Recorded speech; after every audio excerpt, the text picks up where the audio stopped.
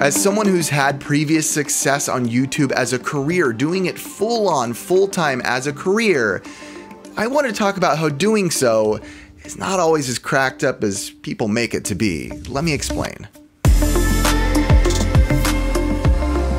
So today's video is going to be more of a discussion type video. It's not going to be, let's say, as polished as a lot of my videos normally would be. I feel like this topic deserves a good conversation with you guys uh, from someone who has been there on the really big highs of YouTube, which I'll explain in a little bit. We've been at the really low lows. And let me just say, this is not my career anymore. I don't do YouTube full time anymore. We have been there, been there, done that, so to say, and now I'm working uh, like I pretty much always have my whole life, uh, full on, uh, surprise to many people, a very manly job. I build electrical poles for a living. So before I explain what I actually meant by the title of this video, doing YouTube as a career is not all that it's cracked up to be, let me explain that in a little bit. But first, let me tell you guys why I actually know this, why I have personal experience telling you guys about this topic. So, about three years ago, me, Mikey, who's still on the show, and another guy named Ralphie, who used to be on our early, early episodes, we all met up at this office and we kind of had a job together doing like marketing and different type of video stuff, and we were all working together.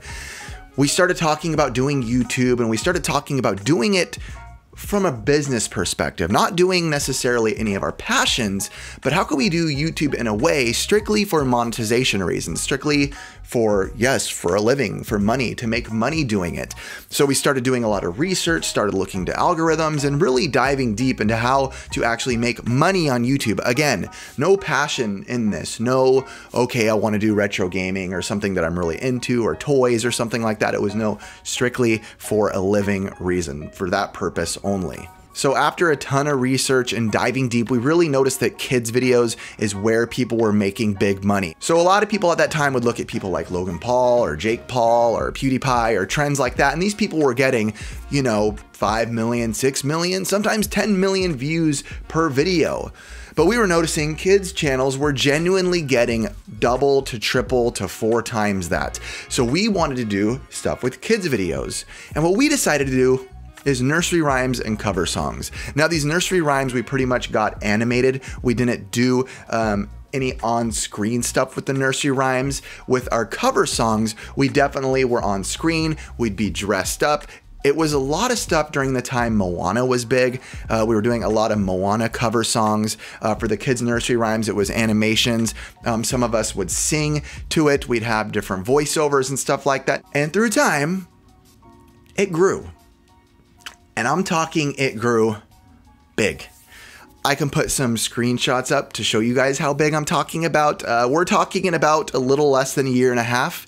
Um, I can't remember exactly, but I think around 175 million views in that time, uh, which in turn is well over $150,000, if we're being honest we saw the crazy numbers. Videos, 24 million videos. Next day, 13 million views. I think I said videos, 13 million views, 24 million views. Next video, 17 million views. Huge numbers. And the trending page was different at that time as well. And we were plenty of times on the trending page. This is when YouTube would actually put like top views on the trending page other than just them trying to push their agenda.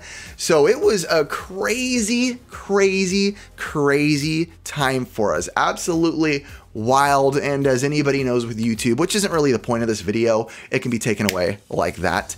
Um, YouTube can just snag it up and say, nope, demonetized.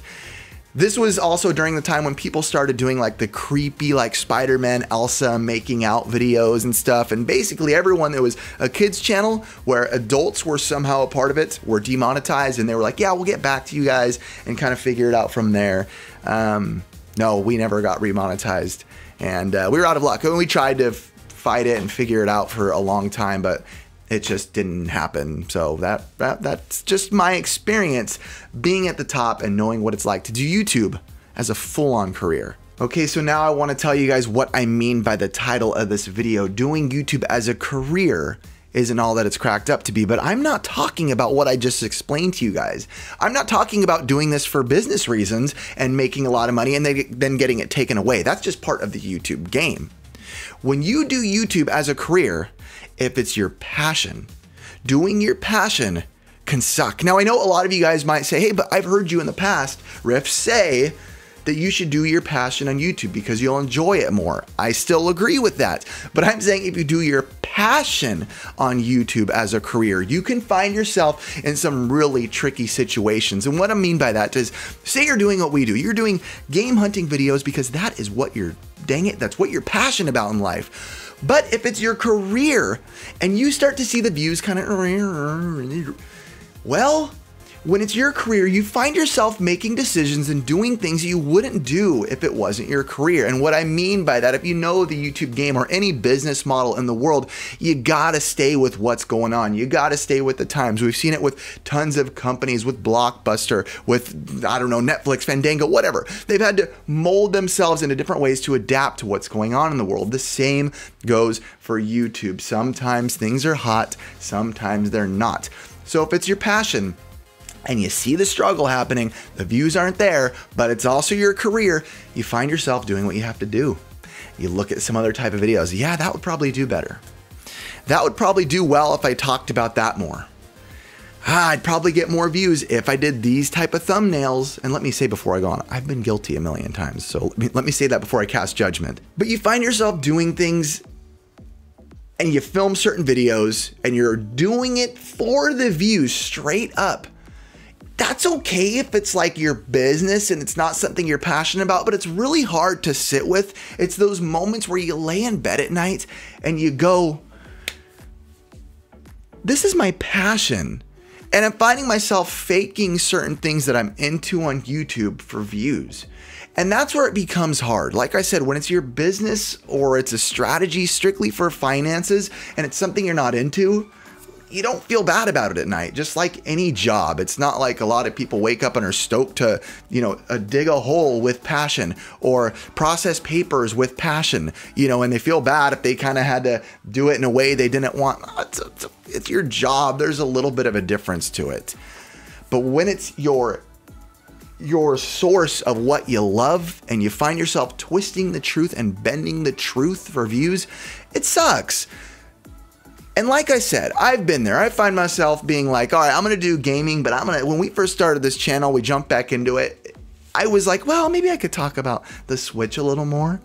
You know, it's, it's hot. I love the Switch, but it's not like my passion.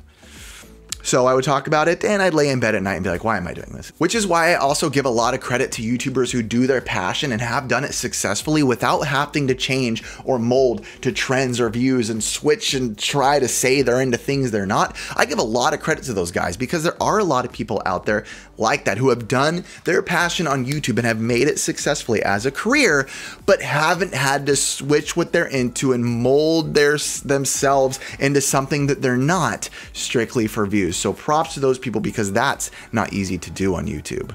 I almost forgot to say that I wanted to say keep going for those of you who are doing your passion on YouTube, whether you want to make a career out of it or not. If you're doing your passion and doing it because you love it, that's a win situation no matter what. If you don't want if you want to worry about financial gain, that's a different topic, some of this, some other things. But I just wanted to say if you're doing your passion and you're doing it not for any like finances or big success, you're gonna enjoy your YouTube journey. That's it. Back to the video or wherever we're at at this point. I know I'm kind of jumping all over the place, and this is another thing that I thought about that I think is a really good point to talk about is that when I was doing YouTube strictly for business reasons and financial reasons, I would spend a lot of time on videos. Mikey would spend a lot of time on the videos. Ralphie would spend a lot of time on the videos. But with all the views they would get and the money they would make, there never was a sense of pride doing those videos. It was like, all right, we did it. Whoa. And we'd celebrate. It was crazy. It was fun. We made a lot of money. So it was awesome. But there never was like a sense of like, that, that, that's my, my, I would never go back and want to watch that. I mean, I know they're for kids, but it's just something that I wasn't necessarily proud of making, so to say.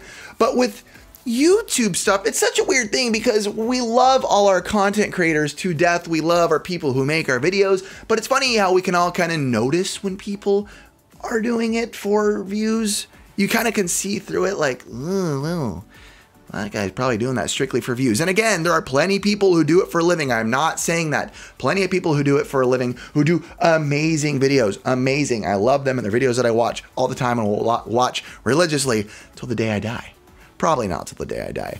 But you know, you can just kind of sense it when people are doing it because they love it. And it has such like a, a pure form about it. It feels so pure and whole. If you know what I'm saying, I think a lot of people you, of you, I think a lot of you guys actually know what I mean by that. YouTube was such a different place back then. I know there's a lot of things going on with COPPA and everything different in the world with rules and it's a living now. But there was such a sense of like passion is the word I keep using all around on YouTube. People were only doing this because they loved it. And I feel like there was so much more creativity on YouTube. What people were talking about was straight up what they loved because they only did it for the reason that they loved it. There was no career involved it or anything like that. This whole video, I want to end by saying I want to know your guys' opinion because for me, it is such a weird thing on YouTube, being at the highs, being at the lows, being where we are now, which is a great spot. Of we have so many different things going on in the YouTube spectrum still to this day that I know a lot of you guys know about and some of you guys don't,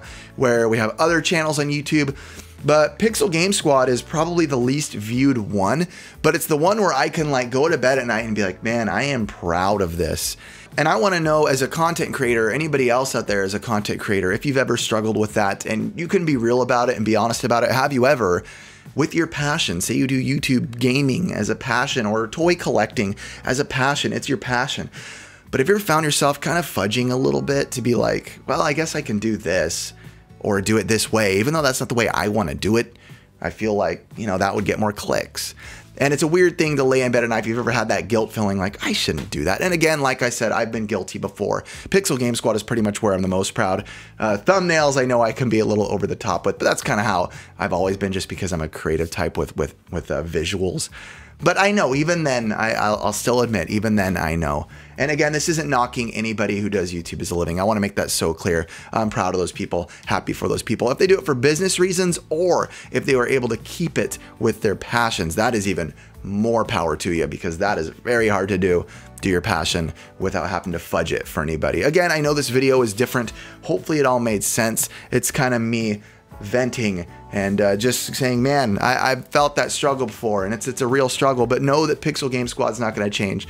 Uh, going through so many different forms on YouTube that we've been through, I've learned that I can at least hold Pixel Game Squad and retro gaming. Uh, and it as a tight love because that's what it is for me. It's my play, my one place where I got to express my my true form of love, which is retro gaming. So, yeah, that's it. And and toys. I gosh, I love toys as well. So, thanks for watching. Uh, See, you, you, you just, you want to say all the typical, make sure to hit the, I don't care what you do.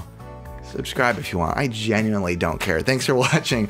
I appreciate it. You guys are always awesome. Have a good one.